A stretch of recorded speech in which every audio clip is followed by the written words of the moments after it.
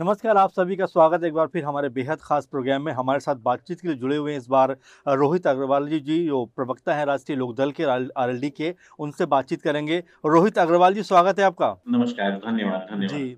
रोहित जी, पहली बात तो जो आखिरी बार मेरी बातचीत हुई थी आपसे और ब्रजभूषण को लेकर आपने बड़ा मुखर होकर बात कही थी कि टिकट उनका मिलेगा ही नहीं। हमने पहले ही बात कर रखी है तो पहली बात तो आपने जो कहा, उस बात को मैं कहूँगा कि आपकी बात पूरी हुई, उसके लिए बधाई आपको। लेकिन ब्रजभूषण की जगह उनके बेटे को टिकट दिया जाना, ये दोनों अपने आप में एक जैसी ही बात तो नहीं लग रही आपको भी? देखिए, राष्ट्रीय लोकदल ने निरंतर संघर्ष किया है और मुद्दों पे संघर्ष किया है और जहाँ पे महिलाओं की अस्मिता का सवाल हो, वहाँ पे राष्ट्रीय लोकदल कोई भी कॉम्प्रोमाइज करने के लिए तैयार नहीं होता है। हम्म। क्योंकि यहाँ पे महिला पहलवानों की अस्मिता का सवाल था और महिला पहलवानों ने एक गंभीर आरोप ब्रिजभूषण सिंह के ऊपर लगाया था जिसके खिलाफ राष्ट्रीय लोकदल के राष्ट्रीय अध्यक्ष माने जयंत चौधरी जी स्वयं उन्होंने महिलाओं के बीच में जाके धरने में उनका सपोर्ट किया था उनका समर्थन किया था। और जब हमारा गठबंधन राष्ट्रीय लोकदल का इनके साथ हुआ भारतीय जनता पार्टी के साथ हम एनडीए के जब हिस्सा बने तब उस कंडीशन में हमने उनसे कहा था कि क्योंकि हम किसी भी अपराधी को किसी भी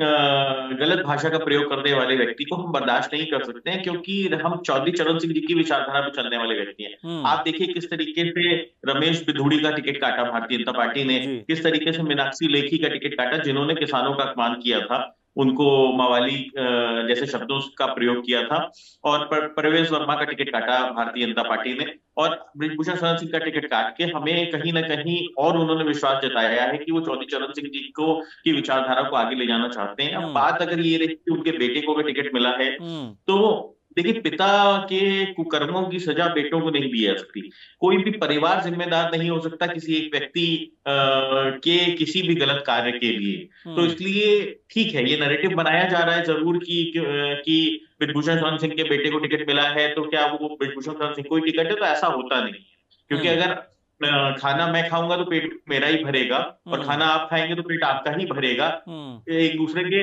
हम पूरक तो हो सकते हैं परंतु ये कहना कि ये फ़र्क नहीं बहुत बड़ा फ़र्क होता है और जो आ, कल से मैं मीडिया के अंदर ब्रिजभूषण सिंह के बयान या उनके जो चेहरे के भाव हैं उसको देख के भी आपको समझ में आ सकता है कि कहीं ना कहीं वो इससे इफ़ेक्ट हुए हम्म। तो इसलिए ये नैरेटिव मेरे हिसाब से सेट होता नहीं है हम्म। समाजवादी पार्टी को शायद चाहती थी कि ब्रिजभूषण सिंह का टिकट कटे और ब्रिजभूषण सिंह को समाजवादी पार्टी कैंडिडेट बनाए क्योंकि हम्म। तब तक आप देखिए कि उन्होंने कैंडिडेट ही नहीं घोषित किया था। और हम्म। जब उनके बेटे का टिकट घोषित हो गया उसके बाद उन्होंने कैंडिडेट घोषित किया तो कहीं ना कहीं राजनीति के अंदर विनिंग कॉम्बिनेशन भी देखना मजबूरी होता है।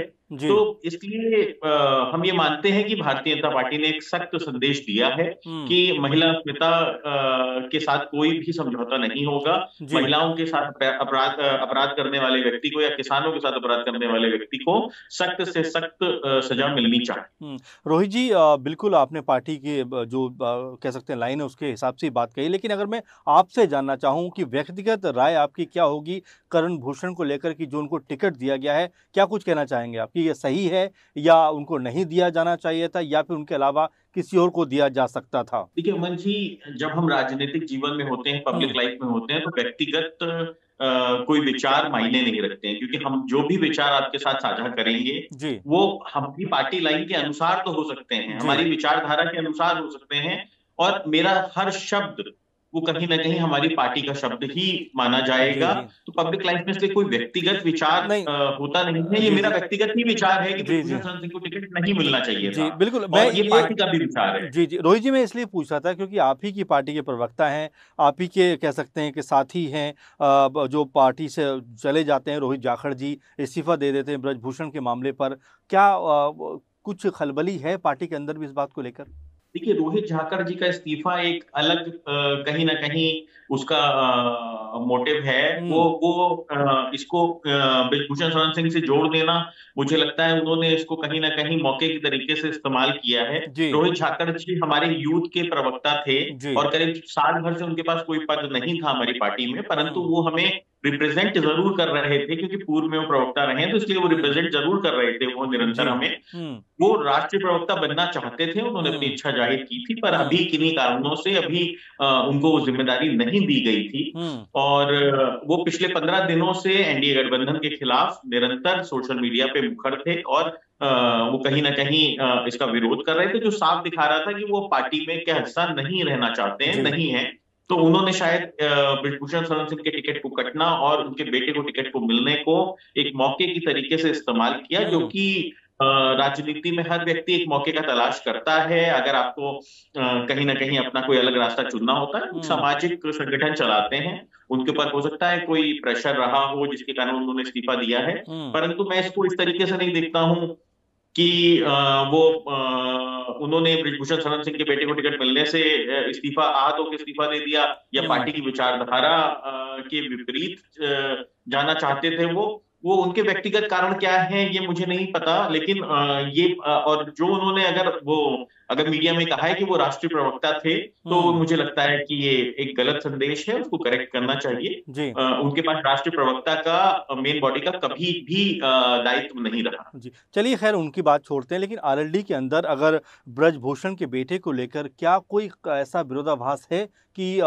जो ब्रजभूषण को टिकट नहीं मिला चलिए ठीक है लेकिन अगर करण भूषण को टिकट दिया गया है तो क्या आरएलडी के अंदर खाने में क्या कुछ ऐसी आपस में कोई चीज़ें हैं जो नाराज़गी हो या उसको लेकर कोई और बात कहने के निकल कर सामने आती हो? देखिए जो सामाजिक दल होते हैं सामाजिक संगठन होते हैं या राजनीतिक दल होते हैं हम्म। उसमें लाखों करोड़ों लोग जुड़े होते हैं। हम्म। हमारी विचारधारा से करोड़ों लोग आस्था रखते हैं। चौधरी चरण सिंह जी के में, में आस्था रखते हैं चौधरी अजीत सिंह जी में आस्था रखते हैं। माननीय जयंत चौधरी जी के साथ आज युवा जुड़ा हुआ है और हर व्यक्ति के एक अपने व्यक्तिगत विचार भी होते हैं।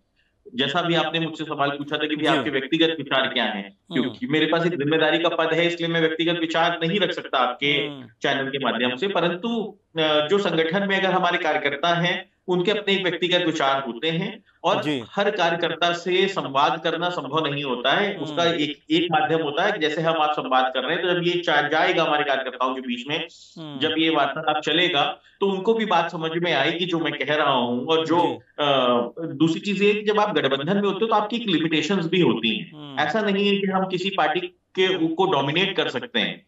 कि हम्म। हम भारतीय जनता पार्टी से ये कह सकते हैं कि साहब आप किसको टिकट दो किसको ना दो। वो सीट हम्म। उनके हिस्से में थी। हम्म। वो सीट पे निर्णय लेना उनका काम था। जी। हमारी बात का उन्होंने सम्मान किया कि ब्रिजभूषण शरण सिंह का टिकट काटा। और ये दिखाता है कि कहीं ना कहीं वो हमारे साथ चलना चाहते हैं दूर तक हमारे साथ चलना चाहते हैं। हाँ। और इसलिए हम दो अलग अलग राजनीतिक दल हैं और दोनों की विचारधारा अगर एक होती तो शायद हम दो दल ना होते हम एक ही दल होते जी बिल्कुल तो एक दल हम एक न्यूनतम मिनिमम प्रोग्राम के तहत कोई भी गठबंधन होता है हम्म। और एक दूसरे के सम्मान के तहत होता है मुझे लगता। है कि इससे ज़्यादा किसी भी दल से अपने सहयोगी दल से एक्सपेक्ट करना मुझे लगता है कि वो कहीं ना कहीं उनके ऊपर दबाव बनाने जैसा होता जिसके लिए हम तो कदापि तैयार नहीं जी।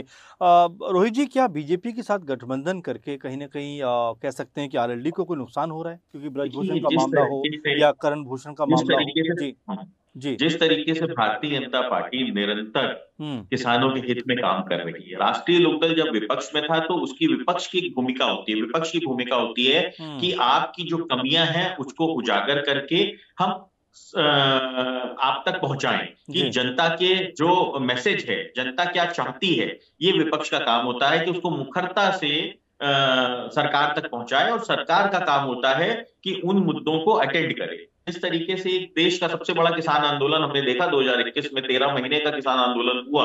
राष्ट्रीय लोकदल ने अहम भूमिका निभाई उस आंदोलन में। चौधरी अजीत सिंह जी ने उस आंदोलन को जीवित रखने का काम किया। जब राकेश टिकैत जी टूट चुके थे पूरी तरीके से उनके आँसू निकल आए थे तब चौधरी अजीत सिंह जी ने उनको सहारा देने का काम किया था। मान्य जयंत चौधरी जी स्वयं बॉर्डर पे गए थे और उन्होंने सहारा देने का काम किया था राष्ट्रीय लोकदल ने अहम भूमिका निभाई थी उस किसान आंदोलन को जीवित रखते हुए और उस किसान आंदोलन की मांगों को सरकार तक पहुँचाने में अपनी विपक्ष की भूमिका में हमने मुखरता दिखाई थी हम्म। और सरकार ने भी अपने दायित्व को निभाते हुए उन तीन कानूनों को वापस लेने का काम किया था जो कि एक सरकार का दायित्व होना चाहिए हम्म। आज हम सत्ता में हैं आज हम जब भारतीय जनता पार्टी के साथ हैं तो क्योंकि हम चुनाव में हैं तो इसलिए शायद हम डायरेक्टली ये नहीं कह सकते कि अभी हमारे पास पावर है परंतु जब चार जून के बाद हमारी पुनः एनडीए की सरकार बनेगी तो हम हम्म। खुद जिम्मेदार होंगे हर मुद्दे के लिए तो आप ये कहना कि आ, हम किसी मुद्दे पे भारतीय जनता पार्टी के ऊपर थोप देंगे या ये कह देंगे कि साहब वो भारतीय जनता पार्टी की सरकार है तो हम्म। ऐसा नहीं है हम एनडीए की सरकार होगी और एनडीए की सरकार होगी तो किसानों का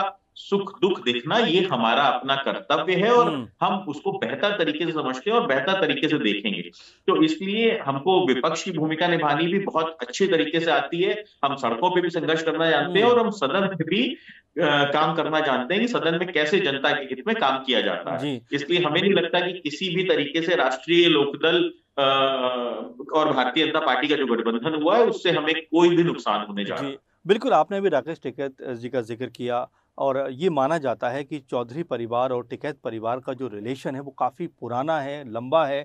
लेकिन जिस तरह से आपने बीजेपी के साथ गठबंधन किया, उसके बाद ये रिश्ता कहीं ना कहीं उसमें खटास आ गई। या दूरियाँ बढ़ गई? जिस रिश्ते में अगर किसी आ, आ, किसी भी अगर वजह से अगर खटास आ जाती है तो वो रिश्ता नहीं होता। है तो हमारा और राकेश टिकैत जी के परिवार का रिश्ता बहुत पुराना है। हम्म। तीन पीढ़ियों का रिश्ता है। हम्म। जब बाबू महेंद्र सिंह टिकैत जी थे चौधरी अजीत सिंह जी थे तो चौधरी साहब का हमेशा सहयोग रहा है इस परिवार के साथ। हम्म। राकेश टिकैत जी हमारी पार्टी से चुनाव भी लड़ चुके हैं। राकेश टिकैत जी और मान्य जयंत चौधरी जी के बीच में भी एक अच्छा सामंजस्य है और एक परिवार की तरीके से ये हमारा परिवार है हमारे बड़े हैं वो। तो मान्य जयंत चौधरी जी भी निरंतर उनकी एक आवाज़ के ऊपर किसी भी संघर्ष के लिए खड़े होते हैं और पूरे समाज ने मान्य जयंत चौधरी जी को पगड़ी पहनाई थी चौधरी अजीत सिंह जी के जाने के बाद। हम्म। तो इसलिए कहना कि कोई खटास है हमारे बीच में कोई खटास नहीं है वो हमारे बड़े हैं वो हमें सलाह दे सकते हैं। हम राजनीतिक दल हैं वो हम्म। गैर राजनीतिक दल हैं वो अपने तरीके से समाज की सेवा करते हैं और हम राजनीतिक दल हैं तो हम अपने तरीके से समाज की सेवा करते हैं। हमारे साथ एडिशन ये हो जाता है कि हमें अपने कार्यकर्ताओं का भी हित देखना होता है जनता के हित के साथ साथ तो कहीं ना कहीं उनकी जो काम करने के तरीके हैं वो अलग होते हैं हमारे काम करने के तरीके अलग होते हैं तो इसलिए हमारे और उनके परिवार के बीच में कोई भी किसी तरीके से खटास नहीं है। हमारे प्रत्याशी जो भी चुनाव लड़ रहे थे तो उनको आशीर्वाद भी उन्होंने दिया। और राकेश टिकैत जी हर मंच से कहते रहे हैं कि उनका राजनीतिक कोई भी इंटरफेरेंस नहीं है राजनीति के अंदर वो गैर राजनीतिक संगठन है वो अपने तरीके से जनता की आवाज़ उठाते हैं मुखरता से उठाते हैं किसानों के लिए संघर्ष करते हैं। और मतलब हमारे और उनके बीच में कोई किसी तरीके का कोई खटास नहीं है हमारे और उनके रिश्ते बहुत मधुर चलिए रिश्ते मधुर हैं लेकिन पश्चिम यूपी में राजपूत बहुत नाराज़ दिखाई पड़ते हैं बीजेपी से। क्या इसका असर आरएलडी पे भी पड़ता हुआ नज़र आएगा? क्योंकि कई तरह के बयान इस तरह के हैं जहाँ पर ये देखा गया है कि राजपूत समुदाय के लोग लगातार उन्होंने बयानबाजी की है बीजेपी को घेरा है। तो क्या इसका असर आरएलडी पे भी कहीं कोई नज़र आएगा? देखिए विपक्ष पूरी तरीके से धराशाही है हम्म। खासतौर से पश्चिम उत्तर प्रदेश में आप देखिए अखिलेश यादव जी सही से चुनावी प्रचार तक नहीं कर पाए हम्म। राहुल गांधी जी तो आए ही नहीं गाजियाबाद बॉर्डर पे आके प्रेस कॉन्फ्रेंस करके चले गए तो कोई भी एक भी मुझे बता दीजिए साझा रैली हुई हो इंडिया गठबंधन की हम्म। पश्चिम उत्तर प्रदेश के अंदर तो विपक्ष पूरी तरीके से धराशाही है वो हमारे ही अंदर कमजोरियाँ ढूंढ के उनके मुद्दों को उठाने की प्रयास करता है कोशिश करता है मुजफ्फरनगर में भारतीय जनता पार्टी के एक पूर्व विधायक रहे हैं संगीत सोम जी। जी। उनको उनको और, और शायद संजीव बालियान जी के बीच में कुछ आपसी मतभेद था हम्म। जिसके कारण शायद वो विरोध कर रहे थे। वो एक पर्टिकुलर विधानसभा के अंदर क्योंकि संगीत सोम जी उस समाज से आते हैं राजपूत समाज से आते हैं तो वो उन्होंने कहीं ना कहीं विरोध करने का काम किया जो कि मुखरता से दिखाई भी पड़ा ग्राउंड पे और जो जिन सभाओं के वीडियोस विपक्ष ने पूरे राजपूत समाज को नाराज़ बताते हुए दिखाए जबकि मुख्यमंत्री जी स्वयं राजपूत समाज से आते हैं और राजपूत समाज उनको अपना नेता मानता है बड़ा नेता मानता है और मुख्यमंत्री जी के आह्वान पे हम्म। पूरे राजपूत समाज ने एक मत होके एनडीए गठबंधन को वोट दिया है कहीं कोई नाराज़गी नहीं है हम्म। जो व्यक्तिगत नाराज़गी उन दो लोगों के बीच में थी उसके लिए भारतीय जनता पार्टी को जो भी उचित कार्रवाई करनी होगी वो करेगी उसमें उसको कनेक्ट करना मुझे लगता है कि कहीं ना कहीं गलत हो देखिए मेरठ में जो सरदना है वहाँ पर राजपूतों ने बहुत कम वोट किया ऐसा लगातार कहा जा रहा है। तो ये लगता नहीं कि बीजेपी के लिए या फिर आरएलडी जो गठबंधन में है उनके लिए भी कहने के नुकसान का सबब बन सकता है। चार जून को आपको सही आंकड़े मिल जाएँगे कि किसने कहा वोट किया।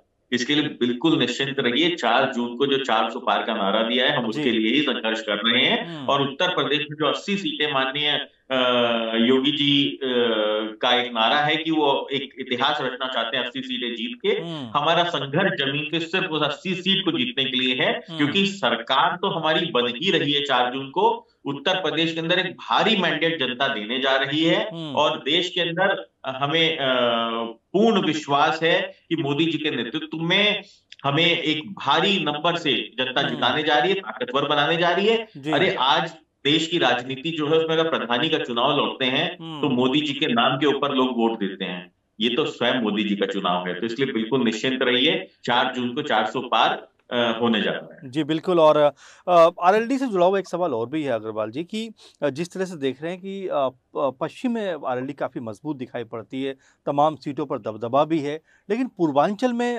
कोई भी सीट पर क्या कोई चुनाव लड़ने का प्लान नहीं है या अगर सीट मांगी गई होगी तो दी नहीं गई होगी? तो क्या कहना चाहेंगे कि पूर्वांचल में अब जिस तरह चुनाव जा रहा है अगर आरएलडी अगर एक्टिव रहती तो शायद वो चर्चाओं में ज़्यादा बने रहते? देखिए राष्ट्रीय लोकदल का प्रभाव पूरे उत्तर प्रदेश में है राजस्थान में है हरियाणा में है और पूर्व में तो कई स्टेट्स में रहा था राष्ट्रीय लोकदल का प्रभाव हम्म। आज की डेट में अगर मैं बात करूँ तो ये बात सही है कि हम पश्चिम उत्तर प्रदेश के बाहर नहीं आगे बढ़ पा रहे हैं हम्म। परंतु हमारा पूरे उत्तर प्रदेश के अंदर मज़बूत संगठन है हम्म। हमारे लोग हैं जो कि जब 2017 में हमने चुनाव लड़ा था तो करीब हमने दो सौ तिरपन तीन सौ तिरपन सीटों पे कैंडिडेट भी दिए थे हम्म। जिन्होंने मजबूती से चुनाव लड़ने का काम किया था वो चाहे पूर्वी उत्तर प्रदेश हो चाहे बुंदेलखंड हो चाहे अवध का क्षेत्र हो और चाहे पश्चिमी उत्तर प्रदेश हो हम हमने अच्छा चुनाव लड़ा था और एक अच्छे वोट हमने इकट्ठा करने का काम किया था। वो ठीक है विनिंग कैंडिडेट्स नहीं हो पाए वो नंबर्स नहीं कन्वर्ट हो पाए जीते हुए विधायक के रूप में परंतु वोट हमारा हर सीट के ऊपर है हम्म। अगर आप उत्तर प्रदेश के अंदर हम अगर विधानसभा के लिहाज से बात कर रहे हैं तो 403 सीटों के ऊपर राष्ट्रीय लोकदल का वोट है जी और लोकसभा के लिहाज से 80 की 80 सीटों के ऊपर राष्ट्रीय लोकदल का एक अहम प्रभाव है हम्म। पश्चिम उत्तर प्रदेश में ज़्यादा मज़बूत है इसलिए शायद वहाँ की सीटों पर ही गठबंधन में हमें समझौता करना पड़ रहा है हम्म। पर हम आगे देखेंगे आगे आने वाले दो हज़ार सत्ताईस के चुनाव में विधानसभा चुनाव में हमारी पूरी कोशिश रहेगी कि पूरे उत्तर प्रदेश में हमारा प्रतिनिधित्व हो। जी। बिजनौर से प्रत्याशी हैं आपके चंदन चौहान जो खुद विधायक भी हैं मीरापुर से। अगर वो चुनाव जीतते हैं और अगर इस सीट पर उपचुनाव होता है रोहित जी तो क्या इस सीट पर आरएलडी का प्रत्याशी होगा या फिर बीजेपी का प्रत्याशी यहाँ से नज़र आएगा? देखिए ये ये इस तरीके के सवाल मैं निरंतर सुन रहा हूँ और मुझे बड़ी खुशी होती है जब आप ये सवाल पूछते हैं क्योंकि ये विश्वास अगर आपको भी है कि हमारे प्रत्याशी चुनाव लड़ रहे हैं और वो जीतने जा रहे हैं हम्म। इसीलिए शायद ये सवाल आता है। जी। तो अच्छा सवाल है ये। और चंदन भाई बहुत ही जुझारू नेता हैं। हम्म। उनके तीन पीढ़ियों से वो भी कहीं ना कहीं समाज की सेवा में लगे हुए हैं। उनके दादा उत्तर प्रदेश के डिप्टी चीफ मिनिस्टर रहे हैं। उनके पिताजी स्वयं राष्ट्रीय लोकदल से सांसद रहे हैं। हम्म। और चंदन भाई चार जून को भावी सांसद होने जा रहे हैं। तो जो उनकी सीट खाली होगी मीरापुर वो डेफिनेटली राष्ट्रीय लोकदल की सीट है और राष्ट्रीय। लोकदल की ही खाते में रहेगी जी चलिए आखिरी सवाल अगर आपसे पूछूँ कि राहुल गांधी अमेठी छोड़कर रायबरेली पहुँच गए बड़ा इसको लेकर बयानबाजी हो रही है आरएलडी और रोहित अग्रवाल जिसके ऊपर क्या कहना चाहेंगे राहुल गांधी जी की गलती है कहीं ना कहीं आपने एक तरफ़ आप कहते हो कि रायबरेली अमेठी हमारा परिवार है हम्म। वहाँ से सोनिया गांधी जी स्वयं पहले चली जाती हैं और राजस्थान से राज्यसभा चली जाती हैं तो आपने एक तरीके से उत्तर प्रदेश को अपने परिवार को अपने अनाज छोड़ दिया हम्म। जिसको आप अपना परिवार बताते हैं रायबरेली और अमेठी ने राहुल गांधी जी को बहुत प्यार दिया है हम्म। गांधी परिवार को बहुत प्यार दिया है इनकी कई पीढ़ियों को प्यार दिया है ऐसी स्थिति में अगर राहुल गांधी जी ने अमेठी से चुनाव न लड़ने का फैसला लिया है तो ये शायद कहीं ना कहीं उनके राजनीतिक बड़ी भूल है। और जो कि भविष्य में वो इसके लिए शायद उनको पछताना भी पड़ेगा। जी। आ, कम से कम गांधी परिवार से किसी ना किसी को वहाँ पे कैंडिडेट होना चाहिए था। ये आ, क्योंकि अगर गांधी परिवार से कैंडिडेट होता तो उसके जीतने की संभावनाएँ ज़्यादा थी परंतु शायद उन्होंने लगभग ऐसा ही वो लगभग हर सीटों पे करते चले जा रहे हैं हम्म। कि कैंडिडेट्स इस तरीके से देते हैं कि जो जीतने की अगर कहीं संभावना भी है तो वो खत्म हो जाती है। हम्म। यही क्योंकि हम इनके साथ ही रहे हैं हम अभी तीन महीना पहले ही जुम्मा जुम्मा इनसे अलग हुए हैं। यही कुछ कारण भी थे कि हमने इनका साथ छोड़ा क्योंकि इनके पास कहीं ना कहीं विजन की कमी है कहीं ना कहीं निर्णय लेने की शक्ति की कमी है। क्योंकि अगर रायबरेली और अमेठी में आप नॉमिनेशन के आखिरी दिन उम्मीदवार घोषित करते हो और बड़ा आखिरी में पाला छूने की कोशिश करते हो वो भी आप अमेठी छोड़ के रायबरेली में ही रुक जाते हो। तो ये कहीं ना कहीं दिखाता है कि गांधी परिवार में भी कॉन्फिडेंस की कमी है, कि वो अमेठी गांधी परिवार नहीं लड़ना चाहता। था मुझे लगता है कि अगर राहुल गांधी जी रायबरेली लड़ना भी चाह रहे थे या लड़ना चाहते थे तो फिर गांधी परिवार से कोई दूसरा कैंडिडेट डेफिनेटली अमेठी में इनको उतारना चाहिए था। और अगर वो गांधी परिवार से नहीं भी आ रहा था तो कम से कम किसी नेता को अपने, किसी कार्यकर्ता को टिकट देना चाहिए था। ना कि अपने पीए को टिकट देके उन्होंने एक संदेश देने का काम किया है कि उन्होंने पूर्व में अपने रसोईया को टिकट दिया, अपने ड्राइवर को टिकट दिया, अपने चपरासी को टिकट दिया और अब उन्होंने अपने पीए को टिकट देके अपने कार्यकर्ताओं के मनोबल को तोड़ने का काम किया है। ये दिखाता है कहीं ना कहीं कि कांग्रेस के अंदर कार्यकर्ताओं के लिए कोई जगह नहीं है जो गांधी परिवार के करीब रहेगा उसी को कहीं ना जब भी मौका लगेगा तो उसी हम्म। को आप टिकट देने का काम करेंगे। जी बहुत शुक्रिया रोहित जी आपने हमारे साथ बातचीत में जुड़े बातचीत तमाम मुद्दों पे की। कई सवाल भी हमने ऐसे आपसे रखे जो शायद आप टाल सकते थे लेकिन आपने उनका जवाब दिया। धन्यवाद और तमाम दर्शकों का जो हमारे साथ जुड़े ऐसे तमाम सारे प्रोग्राम लेकर हम आपके सामने हाजिर होते रहेंगे। आप लगातार हमारे साथ बने रहिए। नमस्कार।